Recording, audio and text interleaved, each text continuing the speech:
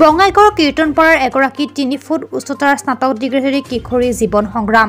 বঙাইগাঁও জিলাৰ বৰখোলা আৰক্ষী নিৰীক্ষণ চকীৰ অন্তৰ্গত কীৰ্তনপাৰা দ্বিতীয় খণ্ডৰ ইটিবালা আৰ্য নামৰ কিশোৰীগৰাকীৰ জীৱন সংগ্ৰামে সকলোকে অনুপ্ৰাণিত কৰিব। মাত্ৰ তিনি ফুট উচ্চতাৰ বিশেষভাৱে সক্ষম এইগৰাকী কিশোৰীয়ে দুহেজাৰ ষোল্ল চনত স্নাতক উত্তীৰ্ণ হৈ স্নাতকোত্তৰ পাঠ্যক্ৰমত নামভৰ্তি কৰিছিল যদিও আৰ্থিক অনাটনৰ বাবে বাদ দিবলগীয়া হয়। চৰকাৰী চাকৰিৰ বাবে কিশোৰীগৰাকীয়ে বাৰে বাৰে আবেদন কৰিও সুফল পোৱা নাই। উপায়ন্তৰ হৈ বৃদ্ধ পিতৃ মাতৃক পোহপাল দিয়াৰ বাবে ঘৰে ঘৰে গৈ টিউচন আৰম্ভ কৰে।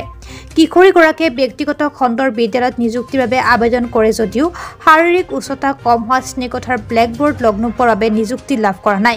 কিশোৰীগৰাকীক চৰকাৰৰ বাবে এখন চৰকাৰীভাৱে এটা চাকৰি প্ৰদান কৰিবলৈ মুখ্যমন্ত্ৰী হিমন্ত বিশ্ব শৰ্মাক অনুৰোধ জনাইছে। মানিকপুৰৰ পৰা আজিজুল হকৰ ৰিপৰ্ট দি পিপুলছ টাই অসম।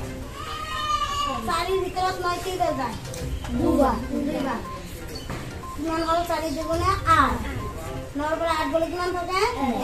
মই দুহেজাৰ ষোল্ল চনত বি এ পাছ কৰিছোঁ। এতিয়া কি কৰি আছা?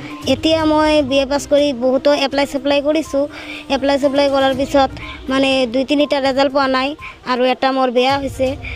মানে আমি আমাৰ ইয়াতে এম এল এৰ ওচৰত গৈছোঁ বহুতো ডি চি বাইদেউৰ ওচৰত গৈছোঁ। মানে কোনো সহায় পোৱা নাই। এতিয়া মই ছাৰ ডক্টৰ হিমন্ত বিশ্ব শৰ্মাক অনুৰোধ কৰিছোঁ মোৰ মা দেউতাক মানে পোহপাল দিয়াত মোৰ বহুত অসুবিধা হৈছে মই তাক বিনম্ৰভাৱে অনুৰোধ জনাইছোঁ মোক যাতে এটা সৰু সুৰা এটা চাকৰি দি দিয়ে মোক সেইটো মই আহ্বান জনাইছোঁ মা দেউতাক বৰ্তমান কেনেকৈ পোহপাল দি আছে? মই টিউশ্যন কৰি মানে মা দেউতাক পোহপালটো দি আছোঁ। টিউশ্যন অঁ। ব্যক্তিগত খণ্ডৰ যিটো স্কুল আছে সেই স্কুলৰ তুমি নিয়োগ কৰা নাই নেকি? মই তাৰমানে তিনি ফুট উচ্চতাত লৈ মানে ক্লাছ কৰাতে অসুবিধা হয় ব্লেকবোৰ্ড লগ নাপাওঁ। সেইকাৰণে মই তাতে পোৱা নাই চান্সটো চৰকাৰী আঁচনি পাইছেনে চৰকাৰী কোনো আঁচনি পোৱা নাই এনেই মই বিকলাংগ চাৰ্টিফিকেটৰ পৰা এহেজাৰ কৰি মাহত পাই আছোঁ। এনে? অঁ লৈছোঁ। মই কম্পিউটাৰ শিকিছোঁ এইট মান্থৰ আৰু আমি মই এম এও কৰিছিলোঁ এক বছৰ কৰিছোঁ আৰ্থিক অসুবিধাৰ কাৰণে মানে ক্লিয়াৰ কৰিব পৰা নাই মা দেউতাক চাব লগা হৈছে তাৰপিছত মই পঢ়া শুনাটো বাদ দিছোঁ সেইকাৰণে মই এইটোৱে জনাম আমাৰ মুখ্যমন্ত্ৰী হিমন্ত বিশ্ব শৰ্মা ডাঙৰ মোৰ ছোৱালী চাকৰি দিয়ে সেইটো।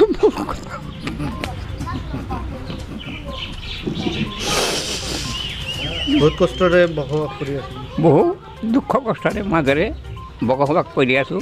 এসাঁজ খাব পাৰোঁ এসাঁজ খাব নাপাৰোঁ। এনেকুৱা দশা হৈছে।